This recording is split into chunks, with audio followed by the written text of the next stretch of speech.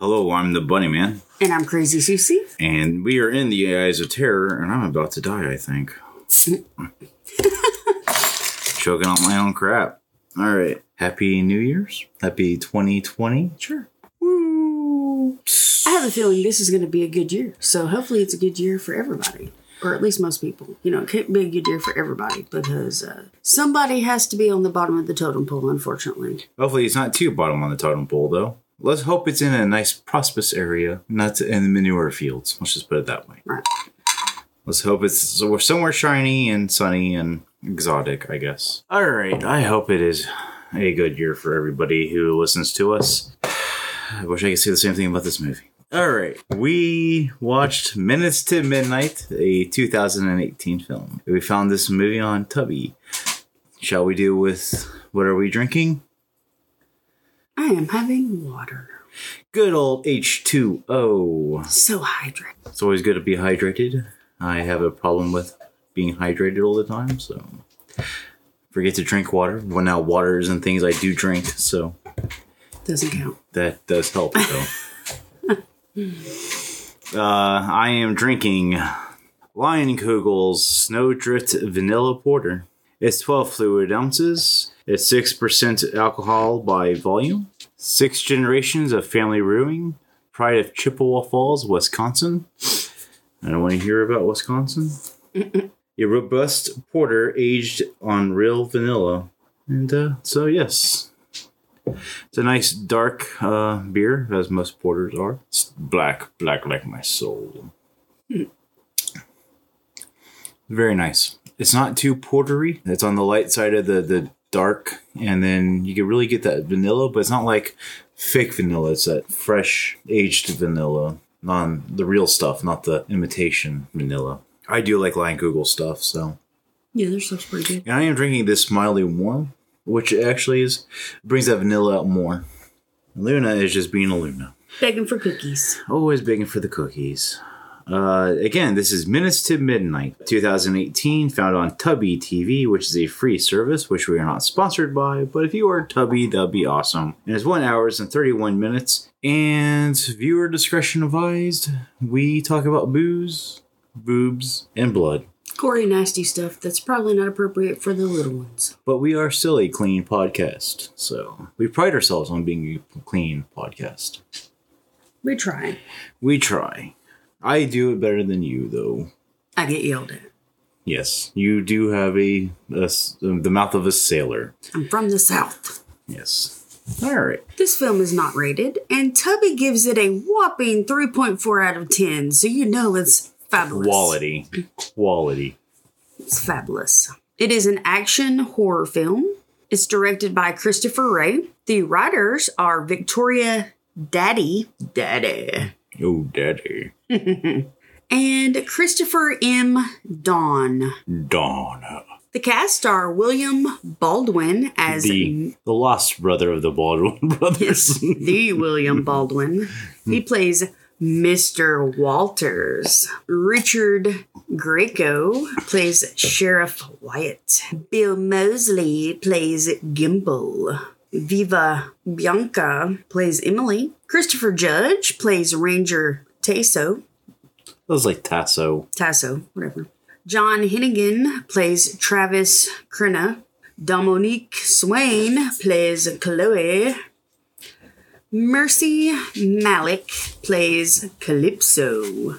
Yeah, after that, I was just done. So, if you would like to view all of the cast, it is on imdb.com. You have fun with that. All right, and the uh, synopsis of the film is on the cusp of the New Year's Eve. Seven friends and a mysterious backpacker converge at a desolate ski lodge in the mountains when they are systematically hunted down by ruthless masked men with a cryptic agenda. Ooh, spooky. Oh, yeah. Yeah. Yeah. Yep, All right. yep. Well, let's get into it, shall we? I guess I'll begin. The movie begins on a beautiful mountain scene, and we see a couple walking along a path. And the woman says, We shouldn't be here because, you know, that's how every Hallmark movie starts. And, uh, This is the area those boys were killed. And the cops never caught the who did it. well, we don't know that till later. But we shouldn't be here. The man opens up a picnic basket. Hey, boo boo, you want a picnic basket? She mentions this is where those people were murdered, and they were boys, and the guy dismembered them, and it was, and then the guy just dismissed it as it is just a story, and he pulls out, and he pulled a lot of strings to be here because I don't know why. Uh, he says it's peaceful and well, and then he gets it down on his knees and he proposes to Emily Hill. Ah, so far this this movie looks like it's shot like a lifetime love film. Aww. Ah, um, as they have a tender moment, they hear something in the bushes rustling. Uh, the guy goes and investigates. He finds a picture wrapped around a stone. As he opens it, he hears Emily scream. And it was like a, really crudely drawn picture of like two stick figures. He runs to where Emily was. We see her running into the woods. She trips a wire and gets caught up in a net. Next, we see the guy. A arrow goes through his leg, and a large man comes and hits him with a tomahawk. Looks like a tomahawk. And then we have a the credits, and we see some skulls and bones, like it's some art piece. Next, we are in an office, and they are blowing up balloons, goofing off, and putting up decorations. Then Mr. Walters comes in and tells the team that they are closed New Year's. Enjoy it, and then and next we would see He tells Sophia when she's done to lock up. Yeah. next we see a, see a guy coming up to two people asking if they have seen his brother Charlie. They show he shows him a picture. The man Taso asks him to go on because they don't need bums like him, and uh, he walks away. He runs into He even draws his weapon at him. yeah, like it was like a complete overreaction to a guy asking, "Have you seen my brother?" Hey, we don't need bums like you. Okay. Uh, then he runs into Mr. Walters.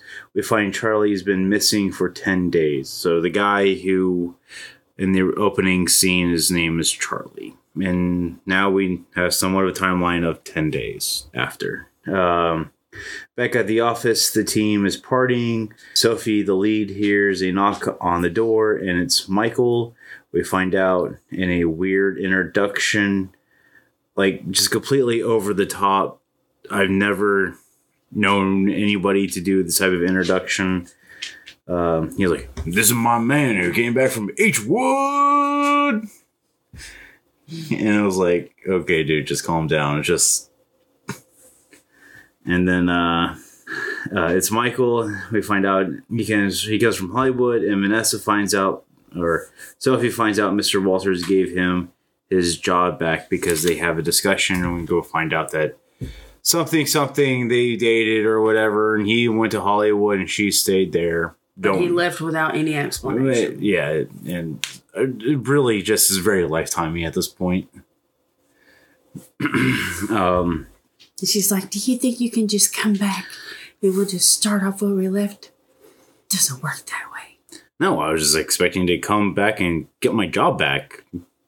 Wasn't thinking about you, but okay. Sophie tells the team they should party at the lodge and they should and then and that they should walk because it's New Year's and cars are bad, okay?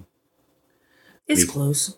And it's close. We find out that uh, that the teams want Sophie and Michael to get back together again. Again, at the, this beginning of this movie is just it's like very lifetime. Just saying, the parallels are there. Uh, next, we see another couple hiking. The woman asks if they are close. Are we there yet? Uh, the guy is like, no, we're not. Uh, he's like, yeah, we're close. We hear heavy breathing and someone looking through the trees. Next, we see Charlie's brother doing some commando stuff like rolls and stuff like that with his hiking backpack. And uh, then we see the couple again. The guy pulls out the map. The woman freaks out, saying, uh, starts freaking out that they're lost. Well, Karen, I'm sorry that we couldn't go back to the gas station. Not asking the guy at the gas station for directions. Uh, and that they're going to starve, or there's cougars, or they're going to get eaten by some hillbillies in the woods. I don't know. She just kept going on and on and on. Um, the guy tells her to relax, uh, and they go in for a kiss. He holds her, and then we get kill number uh, two, one, one. I feel like there was a kill before. Yeah, there's two. It was the first kill. Charlie and Emily. Oh yeah, yeah. Hmm.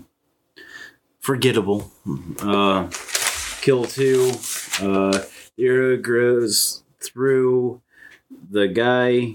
Uh, the chick freaks out as she gets a mouthful of blood, and we see a masked man with a a bone bow, which I don't think would work in real life.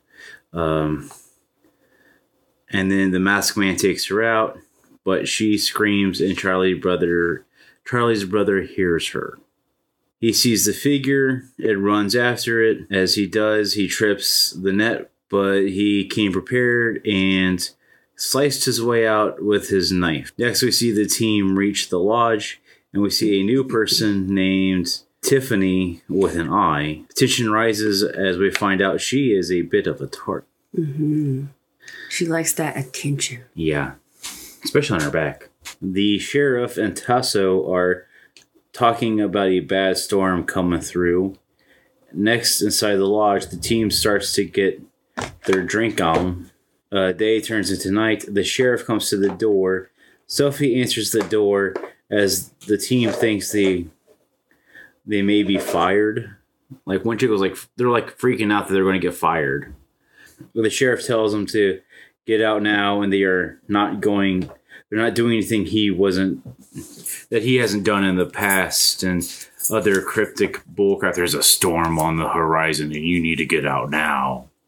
But you're not doing anything I wouldn't have done. And hell is paved with good intentions. The path to hell is paved with good intentions. I understand what you're doing. I've been there. Be better than me. okay, sheriff. Um, and then he tells him to get out before dawn. The whole thing doesn't make a lick of sense, to be honest.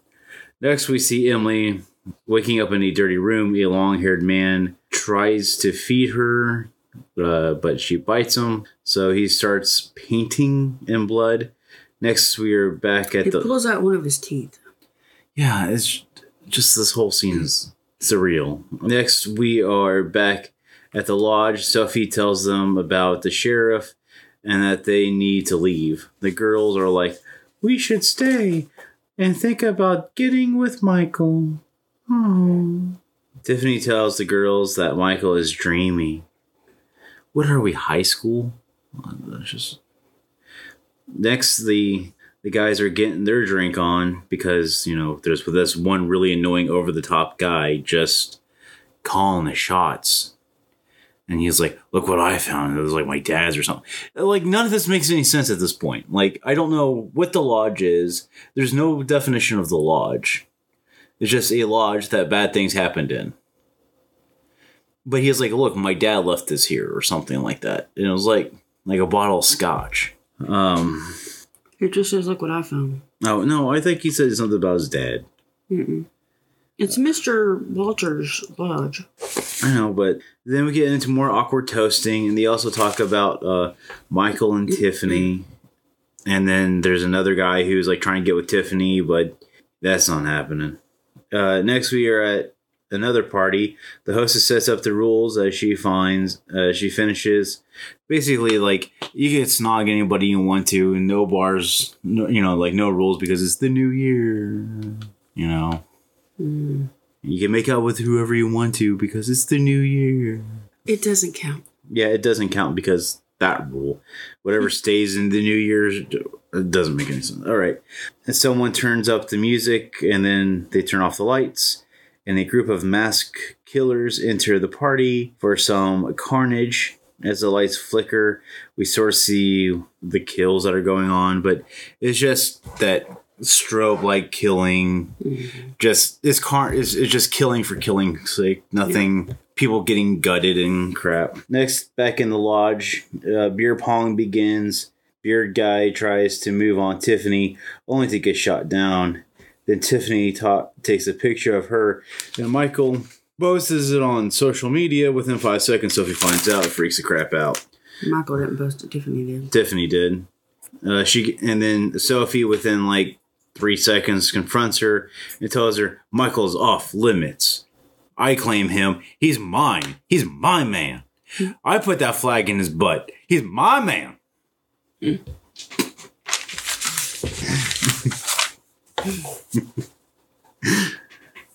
Next, we see Taso driving around, and he comes across a sleeping bag. And let me tell you something about this driving around thing. He was driving around, and there was this one bug. It was like B B roll, and there was this one bug in like the top left corner, and it just kept flying. And you're just like talking, and just keep seeing this bug, and it's like there's a lot of but one bug on this left side of this one road. It just sort of bugged me. It was just like that one little thing that you notice in like bad movies that Poor editing. no, it was like they just use stock footage, but they only use like this five second stock footage, and they try to use it over and over and over again. And there's like one thing that's very distinctive about that stock footage that just he comes across a sleeping bag beside the road. He opens it because you always offer sleeping bags on the side of the road, uh, and he opens it to reveal a horse, cow, livestock animal skull covered in blood and obviously it's uh, pretty rancid smelling. Um, and then we see a masked figure. So uh, Taso calmly confronts him and tells him uh, he cannot be out here and he isn't going to write him up, but he needs to get home because the storm is coming.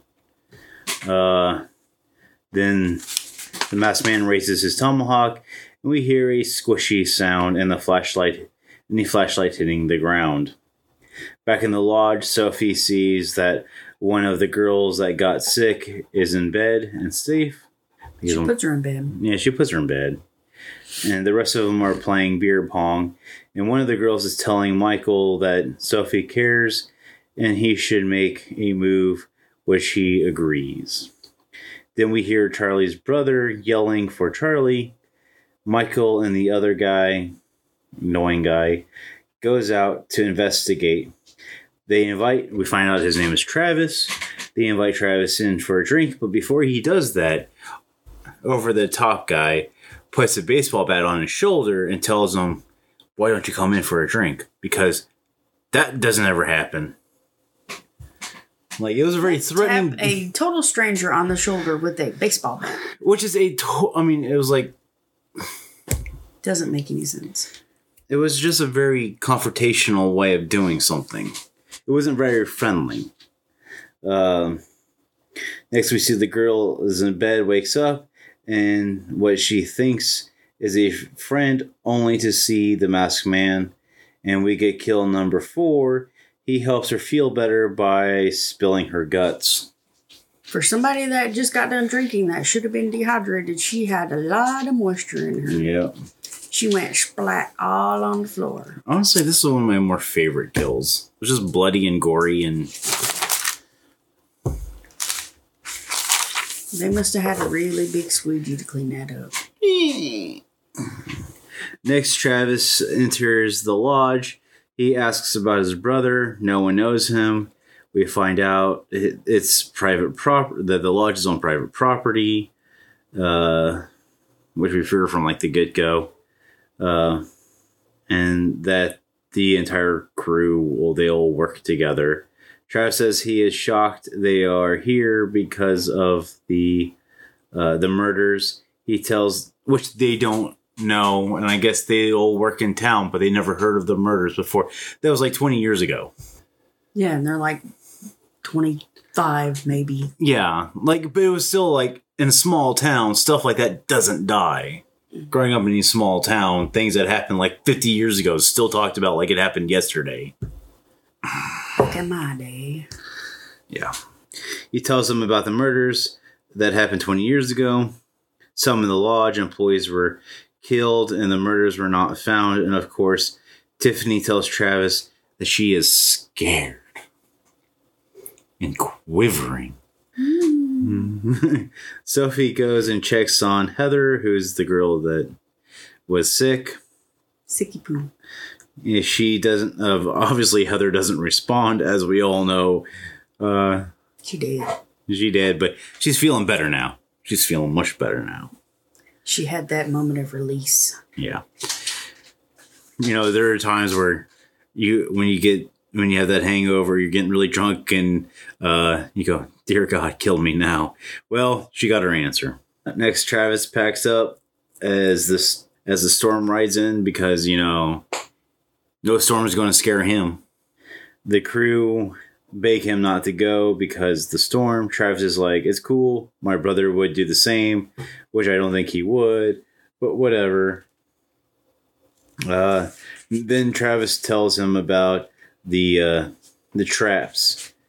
Uh, Travis tells everybody about the traps, and they laugh and they tell him to to leave and get the heck out. Like it went from like ha ha ha to like get get out before we we like tie you up. Like you nutter. Like it becomes very hostile very quickly for no apparently good reason. Next, the sheriff goes to Mr. Walters. We find out the, find out uh, many people went missing, and the sheriff just wants to shut down the town for a while, and also uh, find out the sheriff is not drinking anymore. That he has a history and he doesn't drink anymore. After the sheriff leaves, Mr. Walters calls Sophie and gets he gets all creepy and says uh, to take care tonight because of the storm, and that he tells her that he remembers when she used to deliver Girl Scout cookies, and he doesn't want to lose her, and don't stay up too late. Okay. Next week, Sophia and Michael discover a old. They go explore the house, the lodge a little bit more. They discover an, an odd painting of a symbol in red above the door. Sophia doesn't like it, but Michael thinks it's it's pretty rad. Next, at uh, vehicle, Travis calls on the CB for help. The sheriff answers. He he tells the sheriff that there are drag marks and blood, and the vehicle has been abandoned, and tells Travis to stay put. In seconds, the sheriff comes. Uh, he doesn't see Travis, and he finds the CB cord ripped, ripped out of the the main body. The sheriff gets nervous, and then Travis appears out of the woods, and the sheriff pulls his gun and tells him to stay, you know, like freeze. Meanwhile, at the lodge, uh, Richie, the, uh, the the drunkard, in his ever boozed-filled mind, tries to seduce Tiffany with mistletoe. He gets rejected. Next, he tries to pour her some booze, and he only gives her a wet T-shirt, which failed, and uh, she gets pissed and runs off, but not before insulting his beard. Never insult a man's beard. She said it was gross. And then I don't know the two guy these two people's name. The the other couple, uh, the the over to the top guy and his girlfriend, uh, go to the bedroom for some adult fun. The titty rating on this is a is a four out of five. Very nice, fully perky with a mild floppiness. Also, overall, nice They're body and ass. I like a little bit of a sag though. You know, They're, they're slightly more than a bit saggy, but Ow. considering the size, you, you, know, you gotta admit, you gotta expect that. Yeah. Gravity, it pulls. Next, we see Richie is in the bathroom contemplating shaving Kyle and um, Kyle's girlfriend. Vanessa. Okay. Next, we see Richie is in the bathroom contemplating shaving. When uh, Vanessa wants to take a shower, he gets pissy and tells her to screw off. Oh, Go use the other shower. yeah. And that he asks if he could borrow a condom. Who wants to? Who's like, yeah, you can borrow the condom. Just make sure you give it back to me when you're done. Pretty sure there's somebody out there. Pretty sure there's somebody out there. Yeah, that's not really something you But- borrow. Generally, Here you go. I don't want it back. I don't want to see it again. yeah, Thanks. just just take it when you're done. Just toss it. Uh, I'm good. Uh, not something you return. next, uh, Vanessa goes to the other shower. Tiffany's in the and they're uh, getting ready for a shower. Uh, Tiffany gets Tiffany titty rating um nah, two out of five. Balloon tits, and she sort of has a flat ass, and uh, Yeah, she's scrawny. and she and one thing that really bothers me is like tan marks, like obviously tan marks. That wasn't horrible, but her boob job was poorly done. Yeah, yeah. I mean, it's it's one thing to get a boob job. That's all well and good, but it was it was just poorly poorly Yeah. done. poorly executed. And then Vanessa is all irritated. She can't take a shower and she sees the red painting. Tiffany is done, goes wandering around, and the only excite the only exciting it's not that it's not that exciting except we see the masked guy in the shadows. I mean, she just goes wanders around and she's like doopy doopy doo, and we just see the masked guy in the shadows to create the tension. Um, Sophie and Michael have a heart to heart about him leaving. Derek is in the bathroom with Sophie and looks out the window and sees a flashlight blinking. He thinks it's Travis, so he grabs his trusty baseball bat because he is making him have a bad New Year's. As Derek enters the living room, Tiffany is in there and asks to tag along because she is bored. Next, they are both running in the woods to the flashlight because it's just flashing. It's just like blinking. Supposedly, they went deep into the woods. They came across a, uh, a stone shack with a whole bunch of fog behind it, or they entered the enter the shack because Derek uh, thinks Travis went in there. No one's inside. They start to investigate. They find chains and gross old used plates and bottles and a record player that keeps running, but it's just at the end of the record, so it's just the sort of like the vinyl static, which creates a sort of an eerie sort of sound. Uh, and then they also see Travis's bag. Tiffany decides it's too gross and leaves. But as she leaves, she was putting her phone into her back pocket, and it drops out of her pocket, or it drops out of drops and hits the ground, and she just keeps going. As she realizes what she did, she turns around to see a masked woman. Then the sheriff and Travis pull up to the shack. They call for backup. Then they get out of the car and investigate. The sheriff finds a basement with blinking lights like a bad haunted house. With a word of stick together, they open up they open the door to find a A man in a wig. A man in a wig, and hanging body parts and buckets of blood.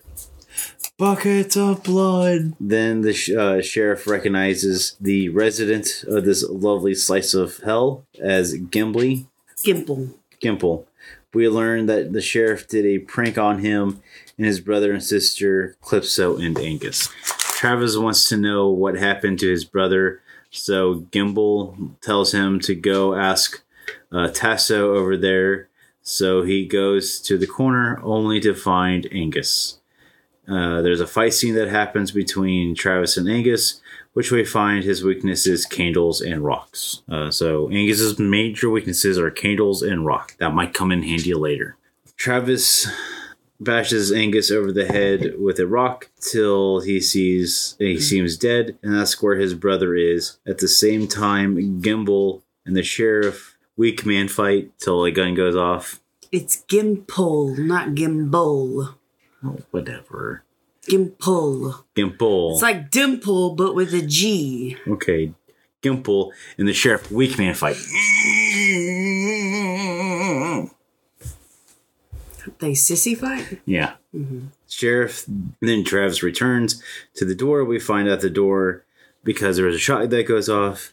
Travis hears it. Uh, and then Travis returns to the door. We find out the door can only be opened from the outside, I guess. I don't know. Uh, Travis finds the latch He tells Travis to get back to the lodge as he calls for backup as fast as he can. He's so quick on that CB. Back at the lodge, the lights are out. Travis is freaking out because he has the, the need to shave. It's not Travis. Richie. Richie is freaking out because he has the need to shave. The responsible ones, Sophie and Michael, go to look for a generator. So Vanessa joins them. I'll take over from here. Not really. Because after this, I don't have anything.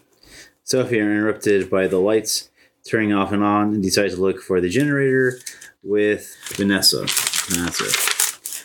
Uh, they go out to the generator room. Michael tries to start the generator as their girls comment about how creepy the place is because, you know, dark generator rooms are lovely and Martha Stewart inspired. Yeah, they don't really spend a lot of money on decorating those. Yeah. Richie decides to get all patriotic as he tries to shave. Then he sees Angus in the mirror. He thinks he is tripping. Then he thinks it's Michael, and he pisses, and then he pisses him off. He realizes it's neither. Then Angus decides that he is going to help him shave by kill number nine, chopping through his neck. Hmm, three out of five. Michael gets the generator working. You see a brain hanging in the shed. Then Kyle busts in. They go back to the lodge. Uh, Vanessa and Kyle wish each other a happy new year. Kyle sees Travis and gets all pissy again as Kyle picks up his bat to kiss Travis's skull. Angus decides to join in in the activities and he gives Kyle uh, kill number 10, some head with spikes in it, upside his skull.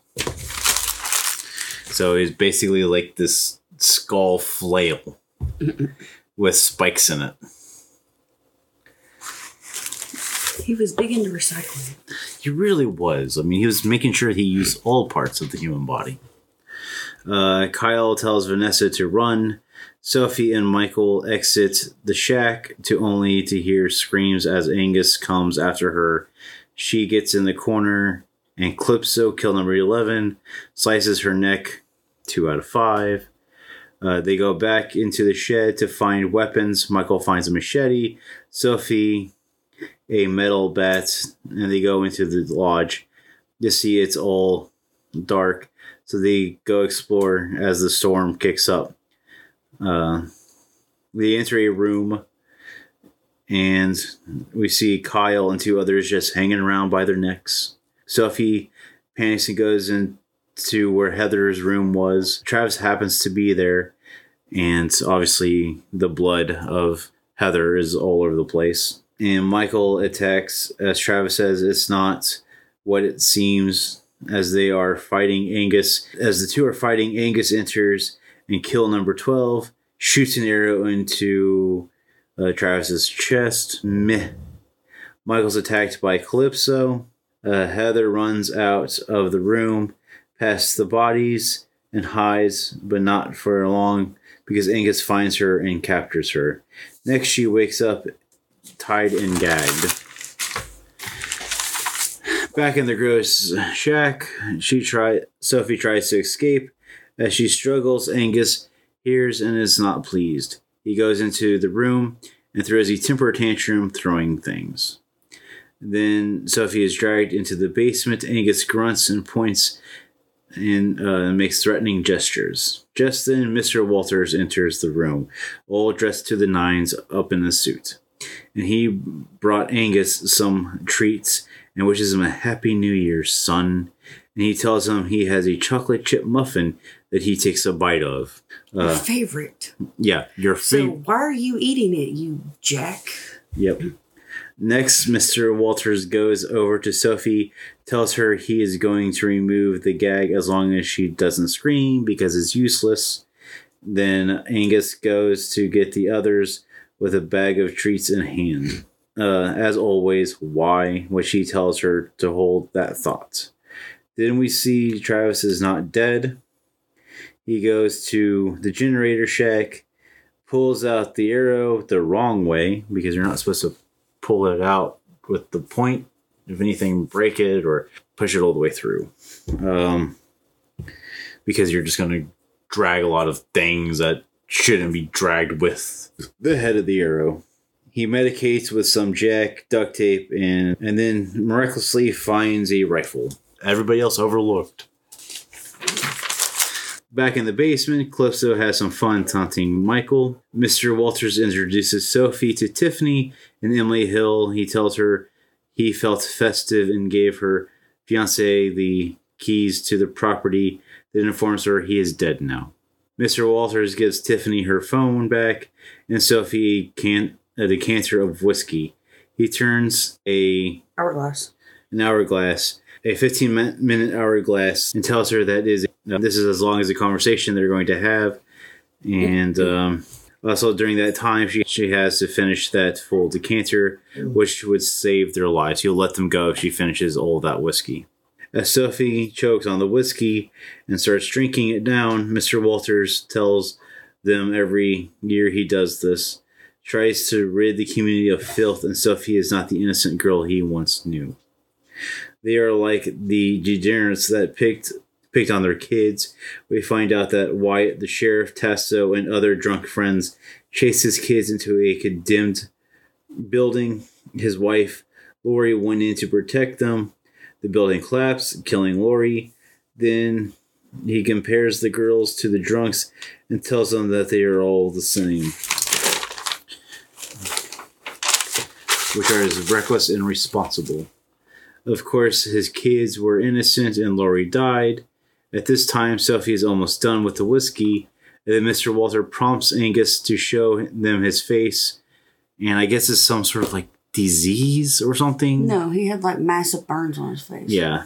Uh, and then Mr. Walter tells them that they were continuous picked on for their looks. So again, I don't know. It looks like burns, Just burns. but I don't understand why they were picked on for their looks because maybe they look like the bald ones. I don't know. No, because their kids were little when this happened. They were taunted growing up because kids are cruel and they were scarred. Yeah. Their face was scarred. Okay. You can't go through school wearing a damn mask. Yeah. As time runs out, Sophie didn't finish the de- uh, the decanter. Mr. Walter tells Sophie to choose who dies. She doesn't, so Angus does. Of course, it's Tiffany, which I give a one out of five. She gets her head chopped off. It's boring. Uh, and then Ang- uh, by Angus, then Mr. Walters asks Angus who is next. He points to Emily and Mr. Walter takes the tomahawk from Angus.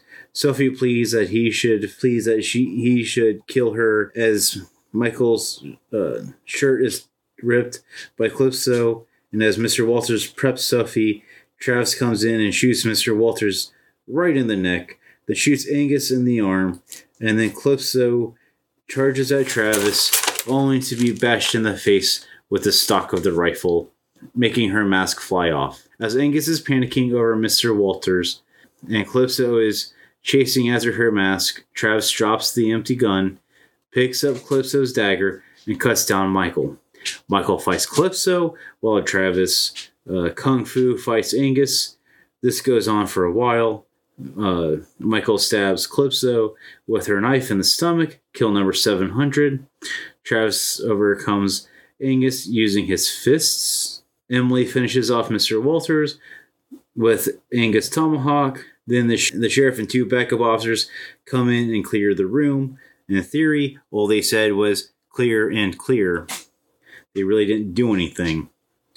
Uh, as Emily, Travis, and uh, Sophie and Michael try to get out of the room, Angus stops being fake dead as he attacks the sheriff between him and the group.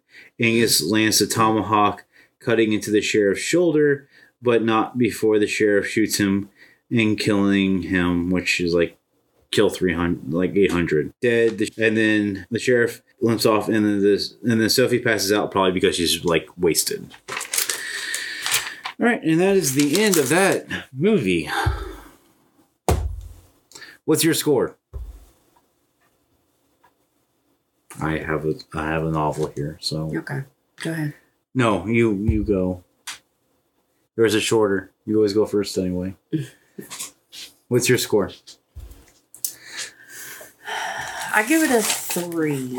Really? Okay. Go.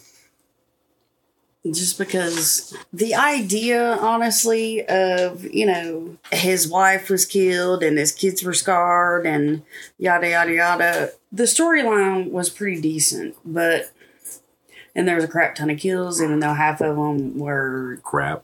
you know uh, Crap. unforgettable Forgettable. yeah forgettable my bad it's not one i would ever ever ever watch again to be honest No.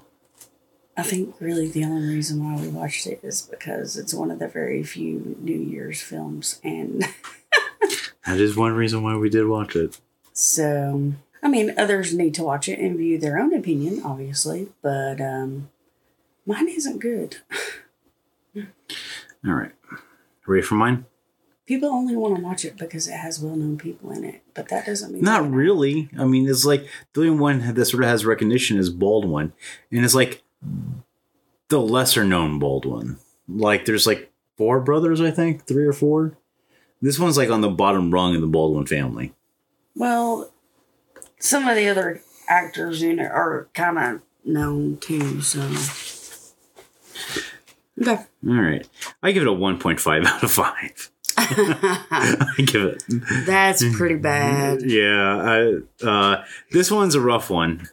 All right, uh, with Tubi fast forwarding through some of the scenes and um, the just the blank genericness of this film, it gets boring and predictable. I hate that Tubi fast forward through it because it seemed like there were parts that I was missing, so I tried to go keep going backwards and it would keep fast forwarding through. I don't know what was going on there. That's an error on Tubi's. I don't think those missing parts would have made it any better. No, but I mean the fighting scene between Travis and Angus towards the end, like that was fast forward. Um, but overall, this movie became uh, predictable. Travis is sort of a, a Steven Sue, being old commando like and always coming in at the right moment, while the rest of the characters are flat, generic, one dimensional with forgettable names, and they are and they're just. I mean, their lines are just not great. There is, I mean, they're. I'm not saying the actors are bad. I'm just saying what the material that they were given was just crap. Um, the monsters are lame. Ang- Angus looks like Mr. Croc from Batman. Calypso looks like a rave chick, and Gimple is a generic crazy guy and a dirty wife beater With the wig. with a wig. I mean, it's uh, Bill Moseley's every character. I mean, it's just generic Bill Moseley character. Moseley, whatever character. The reasoning for the kills are even worse. The motivation to take out people because they don't meet don't meet a uh, preconceived mor- morality uh, standard is BS. Yes, that happened. What what happened was tragic. Also, the one thing that always got me was that it is a small town, and you're telling me you kill six to eight people every year. There's one officer in the town, and no one noticed. So murder is fine if others are getting drunk. Okay. I mean, that's a justification. Because people are getting drunk, we can kill people. Uh, furthermore, the music is horrible. The love inter- interest is lifetime quality at best. I hate Kyle. He is way over the top, and his intros and showing off gratitude are awkward. And, and who places a tip of the baseball bat on someone's shoulder that they're trying to invite them into and have a drink? That and the twirling of the bat when they're in the uh, the forest is like the people that use a gun, uh, a cocking of the gun every five seconds. It was sort of the same sort of feeling. They didn't have a gun, so to cock. So he was running through the the field with a baseball bat, just twirling it over his hand. The check is also annoying. It seems like everything needed is in it. It just appears at the right moment. What's up with the smoke fog behind the killer cabin? Also, the body part it looked fake, like spirit fake. Uh, the only enjoyable part is when Angus uses an arm to attack Travis with and strangles him with it. I dislike revenge killer films. Usually they are extremely flimsy, but this takes the cake. It just is not really my cup of tea. I just. I just want. Why is there dog hair on me? Thank goodness it was free. That's all I have to say. Because we saw this at Redbox. I was like, that's where I first saw it at, and I was like, maybe we should rent it.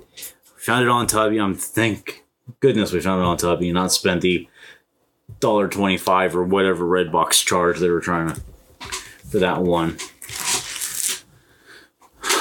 You get enough stuff on Redbox that I I know, I know, I know. save points. But I don't want if we can find it for cheap and not have to. I mean, this this one was this one was really hard to to get through for yeah, me. it was a hard watch I mean, for sure. I mean, and all the like I said, the characters were just irritating. So yeah. Anything else you want to add to it, or is I being too harsh? Miss three. It was pretty bad.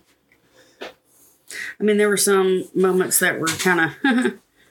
I see what you did there, but Yeah, I mean, I, not enough to where I was like, "This is a great film." No, No, I mean, I would have been fine if they would like homage something a little bit or pointed like this is a better film you could be watching right now or you know something but just everything about it even like the reason why we're killing just annoys me